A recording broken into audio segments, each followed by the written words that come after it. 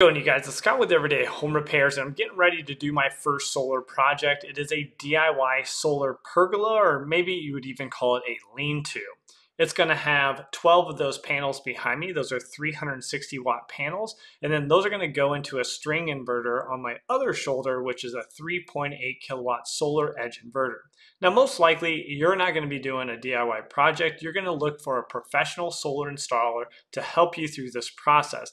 But the big question is, how the heck do we pay for this? Getting solar panels installed in your home is a huge investment and a decision that you need to spend quite a bit of time researching. There's no one source. You can't just look at Everyday Home Repairs or maybe solarreviews.com or the solar panel installer right in front of you, the salesperson that's trying to get you to purchase solar panels. So you need to take information from multiple different sources so you can make the best decision for you and your family. Now, today we're going to talk about one of the biggest decisions, and that is how the heck are we going to pay for this thing? There are four main options that I want to run you through. We'll look at pros and cons, and I'll end with what I'm going to do for these systems, what I did for this DIY kit, and the viewers also voted. So we'll look at a poll from our community page and see what the viewers are saying in terms of their favorite option when trying to purchase or finance solar panels. So let's look at a little table of pros and cons so we can compare side by side our four different options, which are number one, as probably expected, is just a cash purchase. Number two, you're looking at a loan, whether that's provided by the solar panel installer or at least facilitated by them, or maybe like a home equity line of credit. In the number three slot, you're looking at what's called a lease. In the number four slot, a little bit different, what is called a power purchase agreement or PPA. Starting off with cash. So obviously, no monthly payment which is a big bonus because that means right when that electricity bill goes down, that's going to lower your overall monthly budget as your utilities cost is going to go down. Now, you could get possible hardware discounts. That's because if you're bringing cash to this purchase, now all of a sudden your solar installers are going to get paid right away from that equipment that they're putting on your house. So they might be willing to discount your installation a couple thousand dollars and you're going to get full tax credits and incentives. That's both on the federal level, which we have a 30% tax credit now, but also on the state level, depending on where you live, which do vary state from state from no incentives all the way up to almost matching or going beyond the federal credits. Now, the biggest con here is pretty obvious. This is going to be a big dent to your savings or checking account because you have massive upfront cost. Now, how much are we talking? Probably in the range between 25,000 on the low end to 35,000 on the high end for the average American household to get the equipment needed and solar panels to completely offset their electric needs. Now, bringing in the pros and cons from the loan or the HELOC low or no upfront cost, right? We're not paying, we're getting a loan on this one. Now you are going to own this equipment, so you do get the full tax credit, both at the federal and state level, if that's applicable. Now all of a sudden you're going to get a discount in your electricity that you pay every month, your utility bill, but we are going to have a monthly bill for paying off this loan. So you got to kind of balance that out and make sure that is the right decision for you. And be careful on the interest rate. Make sure you know exactly what that interest rate is that you're being charged. I know the one that I got quoted out was in the range of 11%. Now, if you get quoted an interest rate at 1 or 2%, you're like, how is that even possible? Just be careful. They could be charging you what are called points. So those are basically prepaid interest, and that's how they lower that monthly interest rate down so much. So you might have a $30,000 system being installed, but you might be financing 35,000 or $36,000 in your loan. And that's because you're paying a lot of prepayment interest in what's called points.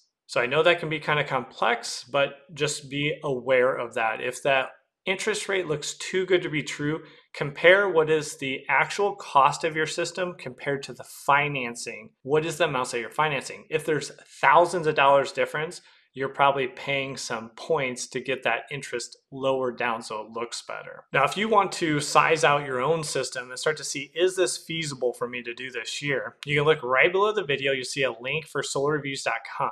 That is where I went, provided some information for my house so we could estimate how many kilowatts of panels do we need, and then what would be the rough estimate on cost. Now, if that's in the ballpark, you can have Solar Reviews connect you with one, two, three, or even four installers in your area so you can have them come and do an on site visit. So you can start getting exact quotes comparing and contrasting versus the different companies. So you can figure out exactly is this a cash purchase for me? Is this something that I'm going to get a loan on? What are those terms on the loan?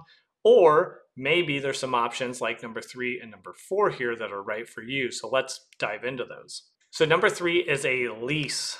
Now, a lease is going to have no upfront cost again, and you're going to have a flat monthly rate. So, every month is going to be the same amount to basically lease these panels. Now, let's go to the downfall. You do not own these panels, and as such, you do not get the credits. You don't get the federal credits and especially don't get the state credits, which are some of the biggest motivators for these systems. And to be honest, some of the biggest motivators for the companies to provide such an option for you is they want to actually get those credits because it helps to make sense out of actually putting these panels on your home. Now, this can also make it difficult to sell your house. So let's say you have a five year, seven year, 10 year, or even further lease, which is probably a longer term to make sense out of it, and you want to sell your home within that lease period, let's say after three years. Well, now all of a sudden you have to either pay off that lease and pay a significant penalty and pay a significant penalty, which you do need to look at the contract to understand, or you need somebody to take over that lease if it is assumable. So just something to keep in mind. Now, number four, a power purchase agreement, PPA. This is usually pretty confusing for people because you don't hear this type of agreement. It's kind of self-explanatory, really. So you again are not, you do not own the panels. This company is using your home to place the panels for which they will own and they will pay for. So there's no upfront cost. And then you have an agreement to a purchase agreement, right, for a certain duration of time. These are usually very long, maybe 20 years or 25 years. You have an agreement that I will pay you a certain cents, maybe 12 cents, 13, 15, 17, whatever this cents per kilowatt hour. So I will purchase that solar power generated from those panels from you for a set cost Hopefully, it's actually below the grid cost, right? That's why it would make sense for you. But as good as no upfront cost sounds, just understand you are not getting any tax credits from this on the federal or state level. It again can be extremely difficult to sell your house because that next buyer would also need to want panels and want that purchase agreement, which is not a guarantee. And then also just pay attention, there usually is some kind of escalation clause in there. So the power price that you're paying is going to escalate every year. So just make sure you understand what that is and it's also reasonable. So what would I do? What would I pick? Well, for my DIY kit, because I'm going to do a DIY install this year and a professional install. For the DIY kit, I went with just cash. So it's around $7,000 for about a four kilowatt system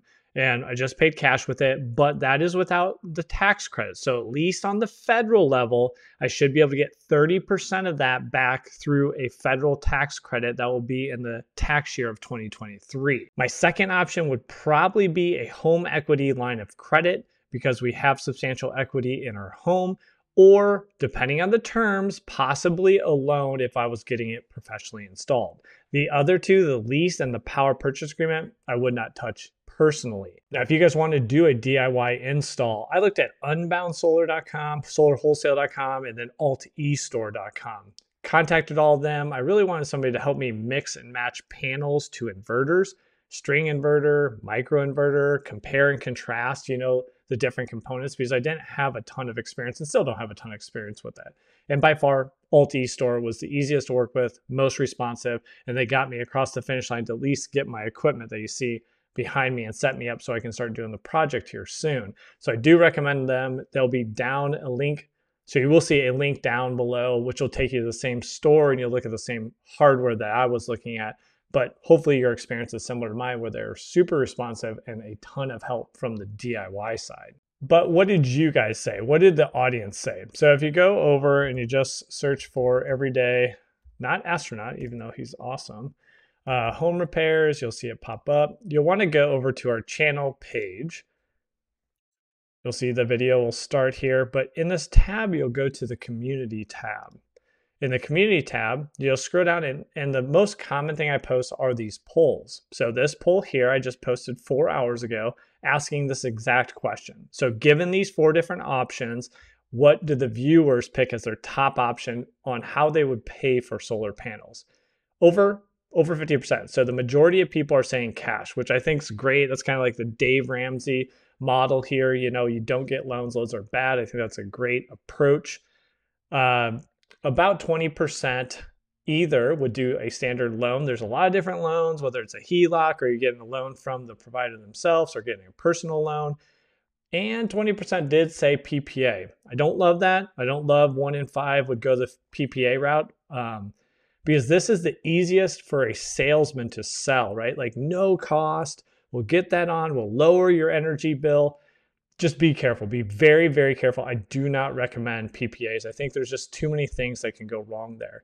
And then leases just don't seem to be that positive. So hopefully that helped you guys out. Cash is my number one. Then I might go into loan options as my number two. But let me know down in the comments what would you do or what have you done? And especially let me know if you had any bad experiences. And I'll try to pull that together into a pin comment at the top. Now, if you guys want to jump deeper and do a kind of ultimate beginner guide, Andy from solarreviews.com is one of the best in the business. And he just released this video right here, which really goes through a lot of the foundational level things that you should know when considering solar. So thanks for joining me on this video, and we'll catch you on that next one. Take care.